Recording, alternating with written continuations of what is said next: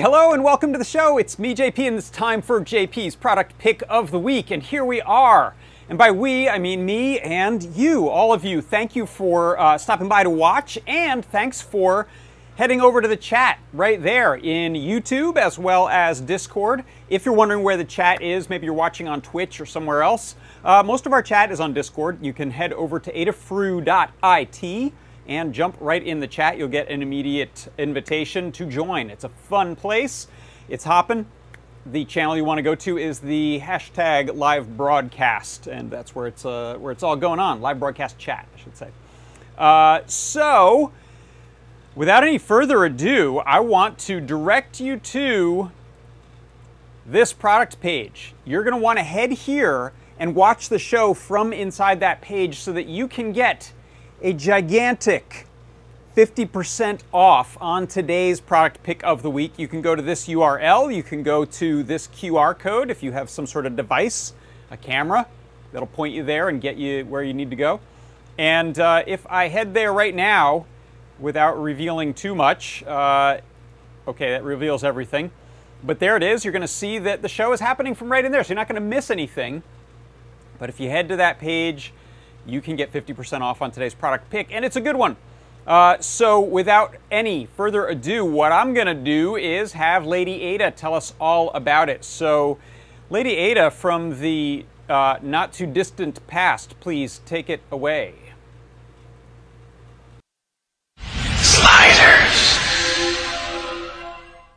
That's right, sliders. It's sliders time. I've had to listen to that like 5,000 times. Okay, Yeah. So we've got the slider Trinkey. Um, this Trinkey is it's, it's, it's, a, it's a Trinkey. It plugs into USB. It's a a Trinkey. We have a character that I'm going to be debuting soon. Yeah.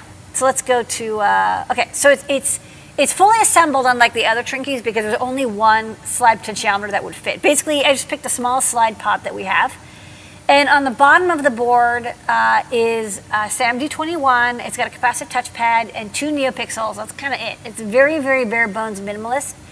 Uh, and the goal here is that you can use Arduino, you can use CircuitPython. It plugs into a USB port, and then you just have like a potentiometer, and like that's it. It's like really, that's all it does. And you can uh, touch the end for capacitive uh, touch It lights action. up.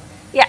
So here, here it is. So it slides into the USB A port. I will say, you might be thinking, what if I slide and I keep sliding? Will it pull out? Yeah, it, it'll it'll eventually pull out. Well, yeah, So- it does exactly what exactly you what would you expect think. it to do. So, just be aware. Just you know, you can slide in, and then if you slide out, just Yeah. stop when it stops.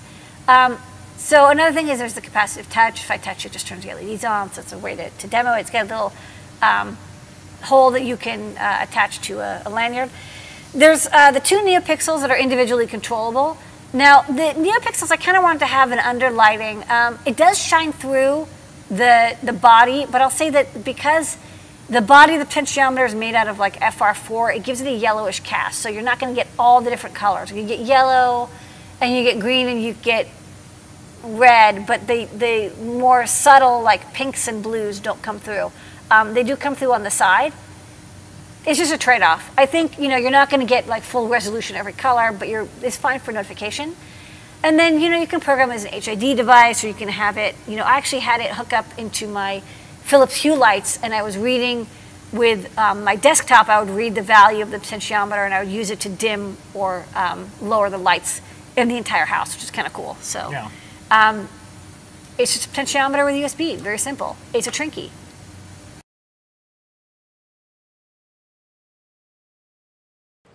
Hey, you know what? In fact, I'm going to head right over there to my cabinet of mystery drawers of cool stuff, TM, and grab my own. So hold on one second. Let me go grab, grab one right over there. Be right back.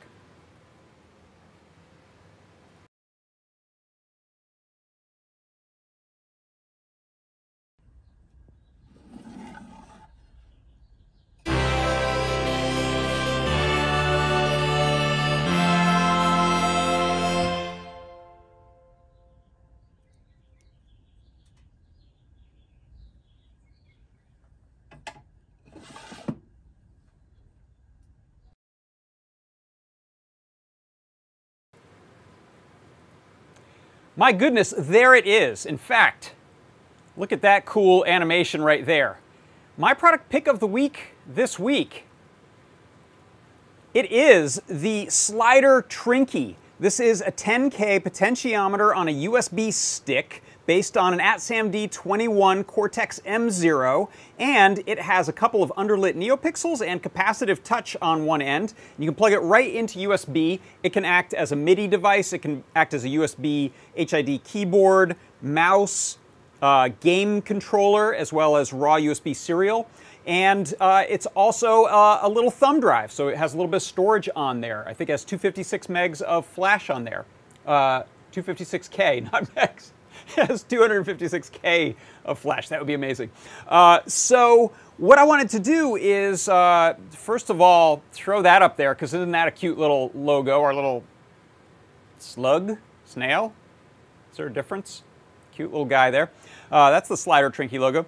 And now what I want to do is give you uh, a little bit of a demo. Before I do that, I'll mention head to this URL and go pick up some because someone said there are 72 of them in stock right now, a maximum of 10 that you can get, and they're 50% off. So if you have some big ideas and a couple USB hubs and you want to plug in and, uh, and go to town, pick some up now. This one, by the way, comes pre-assembled, so there's no soldering required. It's just ready to go, ready to plug and play. Uh, so first demo I'll, I'll show you here. Let's uh, go to a, let's see, how about this view plus this view? That ought to do it. Uh, so you can see here I've got one of the slider trinkeys ready to go and I'm going to plug it into a USB extension cable here. So this is plugged into my main computer and you're going to see over here in my terminal I have a uh, serial output coming from the slider Trinkey. So as I change the position of the slider there, you'll see that we get a slider value of 0.1 up to 1. And you can, of course, turn those values into anything you need for, for the use you have in mind. And you'll also see there's a touch value there, which is floating around 192. When I touch it, it jumps up to about 1,000, and it knows that it's been touched, and it says touched. Uh, so those are a couple uses. This is just some demo code that comes on it, and uh, this was done in Arduino. Uses the touch to turn on and off the LEDs, and it uses the slider to go through the rainbow. Uh, so now what I'm going to do is jump over to a different demo.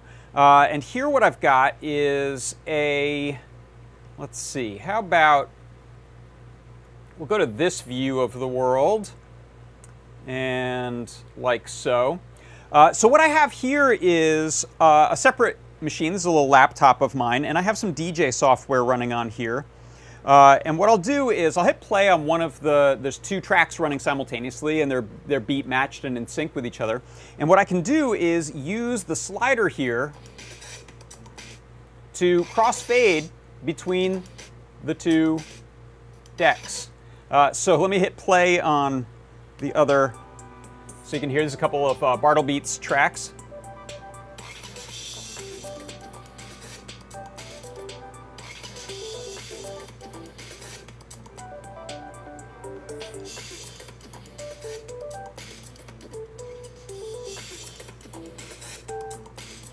So hopefully you can hear that uh, well enough over my, uh, over my AC and things. So this is a really cool use for this. And uh, the way I'm doing that, in fact, let's have a look at uh, what's going on over here in uh, Atom.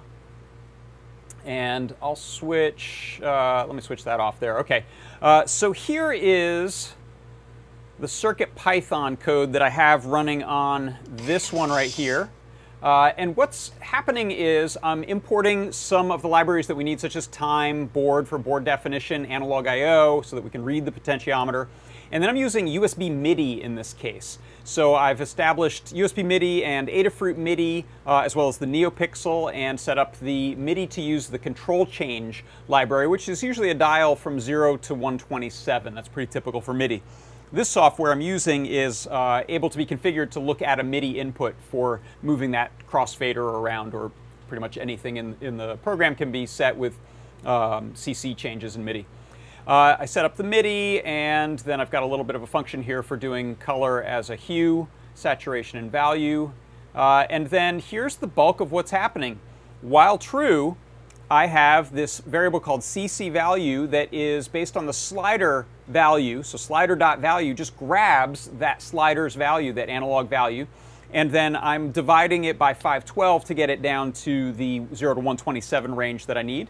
Uh, and then I just have um, a little bit of code there that will uh, check for a change so that I'm not constantly spamming it. If there's a change, then I'm going to print that value out to the serial port. Uh, I will send that uh, controller change value over MIDI, over USB MIDI, and then I'm also changing the colors of the NeoPixels and sliding them depending on which way I go.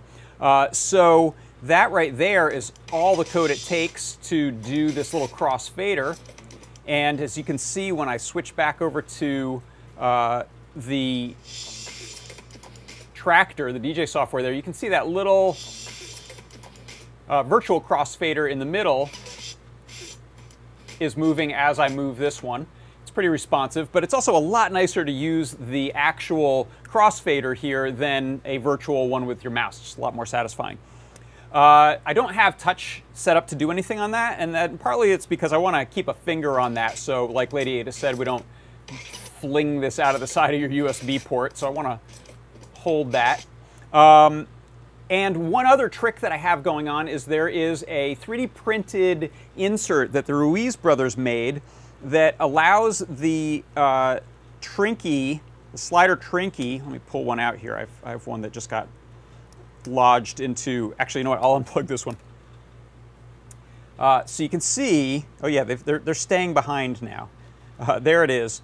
So this is a little insert that grips the top of the USB port, and that's kind of what uh, is better than just it on its own. Can be a little bit a little bit wobbly, um, so you might lose contact there depending on the USB port. If you hold it, you can use it pretty well. Um, but this little 3D printed gripper takes about a minute or two to print. Uh, goes in and it grabs both the top and the bottom of the USB port the way it was meant to be done. Uh, so if we put that in there, you get a nice stable uh, fit. So not entirely necessary, but uh, a, a, good idea. Works pretty well. Uh, oh, you can see there I, I, wiggled it out, so now it's not going to be happy with me. We'll hit stop on here.